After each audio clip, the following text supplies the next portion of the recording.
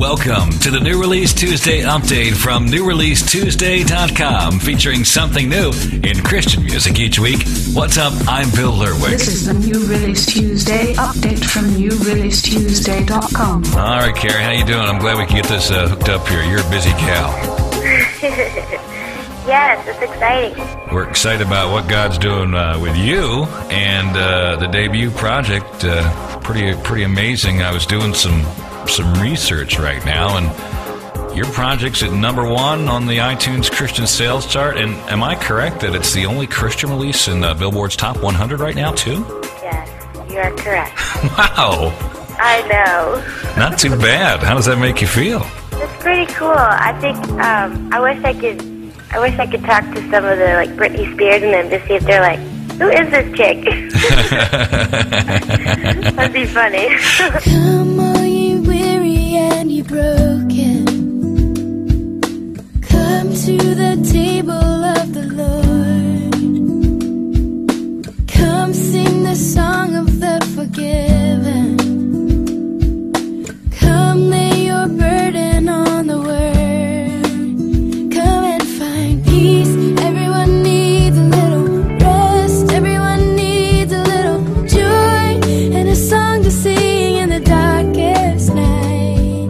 visiting with Kari Jobe about her debut self titled project on integrity that's now available this new release Tuesday. Would it be safe to say that the songs on your debut project are almost individual and devotional pieces that the listener can learn from? Absolutely, and that's really where they came from. Mm-hmm. In my personal time with the Lord of journaling and spending time in His presence, and then that's my favorite kind of worship music is where I can just turn it on and it really helps me connect to the Lord, you know. And um, I got a lot of you know emails and uh, Facebooks, MySpaces, things like that before I did the project, just of what my music, um, what people feel like it does for them, like how it helps them in their quiet time, where they play it over their babies when they're going to sleep, or they played it in their hospital rooms when one of their family members has been going through something, just different things like that. And so I just really felt that that was something that the Lord has just put on my life to do that, to be a ministry in that kind of way. And so I didn't want the CD to be too too big sounding mm-hmm. so that people could still do that you know, with this new project. Lead me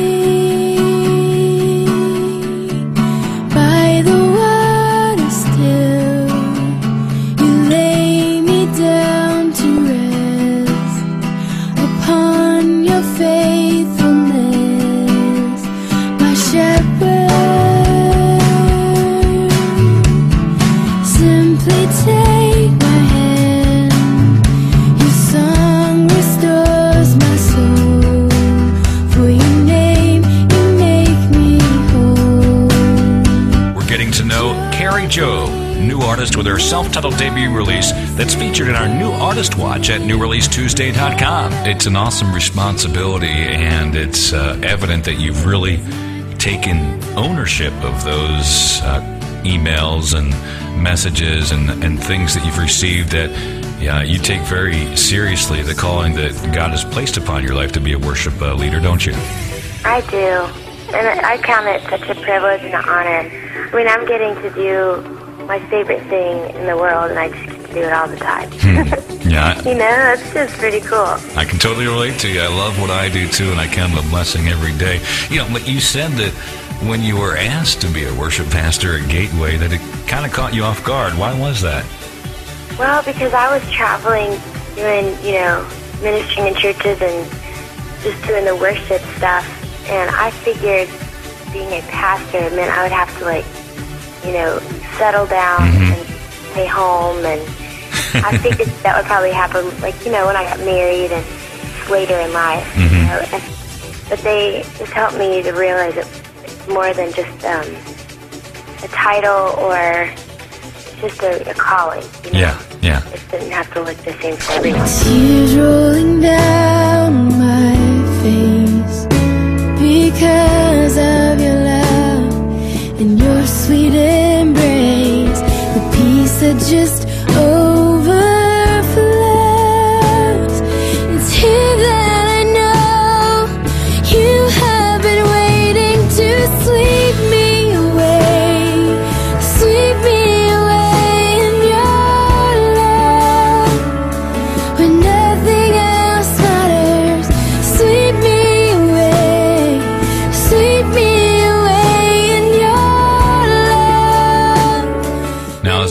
do become fuller and you have more ministry opportunities, how important it is it is it for you to, to maintain that uh, that personal time with the Lord that you have? Very, and the busier you get, the more that you know you're walking into your calling, the harder it is to really set that side, that time aside. You know, and have to fight for it. Have to you know guard that time and You have to learn to say no, right? Absolutely, yeah. It's a sacrifice, you know, and it's a life of sacrifice, but that's part of what praise and worship is. Is, you know, bringing a sacrifice of praise to the Lord. It's not always on stage in front of people. It shouldn't be that. More, more than that, it should be just in your time, you know, at home and stuff. Tell us what it's like to write with folks like Paul Baloche, Chris Tomlin, Ed Cash. How do you guys uh, birth these great worship classics that you come up with? Wow, that's a good question. Um, they, I feel like you could just say, um, let's write a song about the color green, and they'd be like, okay, and they just start writing. They're so easy to write with. And really what I did was just took my vision and my heart for what I wanted on this project and just said, okay, I really need, I want to write a song just about praise. Mm-hmm. You know, just giving people more about who God is just so that they can praise Him, you know, in that song. And um, so just, you know, I'll just take scenes and they just run with it. And I've learned a lot from them too, just different ways to not not squelch your creativity. Um, I really I laugh a lot about Tomlin. He he made a comment while we were writing. He's like, "Okay, I'm gonna dare to be terrible. Like this, this might be a terrible idea, but I'm just gonna jump out there." And it mm-hmm. ended up being the whole chorus on "Everyone Needs a Little." Mm-hmm. You know, so it's like, okay, you can dare to be terrible, but your terrible thought is probably going to be amazing. You know, so That's really cool. just good. Just got me laughing. When I waited so long, when my tears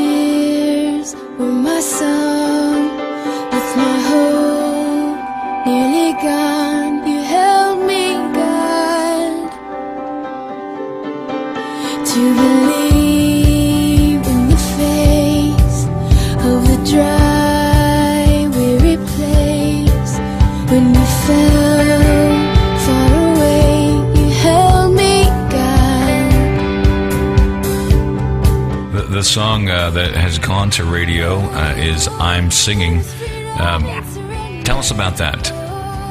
That's a fun one. It, Ed Cash, when I went to meet him to for him to see if he was going to be my producer, he had the chorus for that song, and I was telling him I wanted to write a song about just the nations to get to get us to think more about a lot of the things that are going on when we worship, when we praise God. You know that it's not just about what we're thinking, but we're joining creation. We're it's about something way bigger than ourselves. And uh, he's like, man, I just read this chorus the other day. So he played it, and I was like, oh my goodness, I love that. So I was like, save that, so when we write together, we can finish that. He's like, okay, done. So when we sat down to write it, Tomlin was in town that weekend. So we, that's how that whole thing came about. And it's just really that. It's a, it's just an, to get people to think more about kings and oceans and you know mountains and just things that it's not just us praising God. There's a lot more to it.